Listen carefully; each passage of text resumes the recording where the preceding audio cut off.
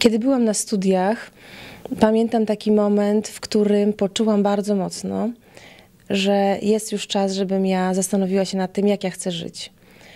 Y, czy ja mam się interesować zainteresowaniem chłopaków, mną, czy ja mam się interesować zupełnie innym życiem. Wiedziałam, że przychodzi moment, że ja chcę, muszę i powinnam już wiedzieć. I to było tak gdzieś mniej więcej, kiedy miałam 21-22 lata.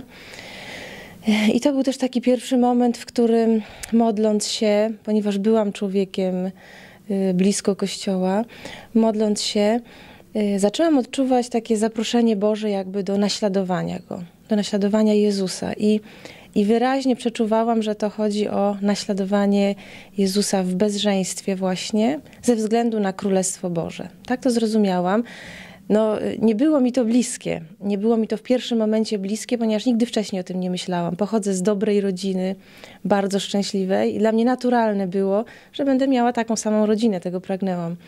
Natomiast gdzieś to wołanie usłyszałam y, i zbiegło się też z taką moją drogą y, przeżywania rekolekcji ignacjańskich. I tam y, w tym cyklu rekolekcji ignacjańskich jest taki jeden tydzień szczególnie poświęcony temu, żeby się przyjrzeć, pomodlić, zasłuchać w Boga, do czego Bóg mnie zaprasza, właśnie w znaczeniu powołania. I ciekawa rzecz, no, dla mnie Pan Bóg jest bardzo logiczny, że to moje wewnętrzne zmaganie zbiegło się akurat z tym tygodniem, na który się wybierałam. Więc przez pół roku pamiętam dokładnie, że od lutego do sierpnia modliłam się codziennie o to, Boże, ja chcę poznać, do czego Ty mnie zapraszasz. Ja po prostu chcę iść drogą, którą Ty dla mnie wybrałeś, na którą Ty mnie zapraszasz. I taka prosta modlitwa codzienna przez pół roku zaowocowała tym, że podczas tych rekolekcji ja bardzo prosty sposób i jasny zrozumiałam, że Bóg mnie zaprasza do naśladowania Go właśnie w bezżeństwie.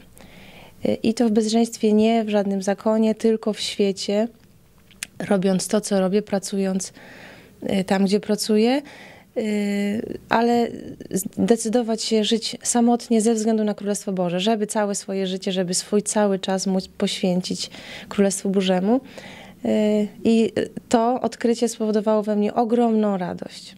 Pamiętam, że to był moment taki przez długi okres czasu, który nazywałam najszczęśliwszym w moim życiu. Potem były jeszcze kolejne, ale, ale to był taki niezwykły moment.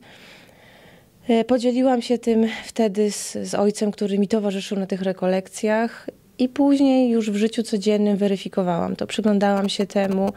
Ta ogromna radość we mnie trwała. Ja czułam, że Bóg mnie do tego zaprasza. To, co charakterystyczne dla mnie w działaniu Bożym, w moim życiu, że zawsze są to zaproszenia. Nie ma żadnego przymusu, nie ma żadnego y, łamania mojej woli, moich emocji. Jest po prostu łagodność działania Bożego. I tak też było w tym przypadku.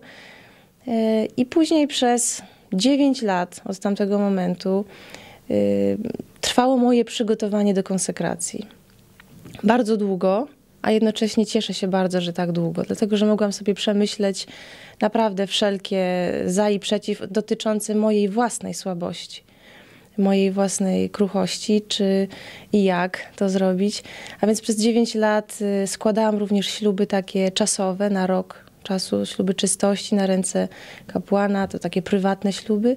I potem tak Pan Bóg całe, całe moje życie pokierował, że y, pięć lat temu, 1 stycznia 2006 roku, mogłam złożyć tę konsekrację uroczystą na ręce księdza arcybiskupa y, łódzkiego. Pięć lat mija, a ja mogę powiedzieć w sumie, że, że jestem bardzo szczęśliwa i, i że te szczęśliwe momenty takie, które było właśnie wiele lat temu, kiedy odkryłam to powołanie, zdarzają mi się bardzo często. Jestem bardzo szczęśliwa, że, że mogłam odkryć to, do czego mnie Bóg zaprasza i w zasadzie codziennie odczuwam, że to na pewno jest moje miejsce.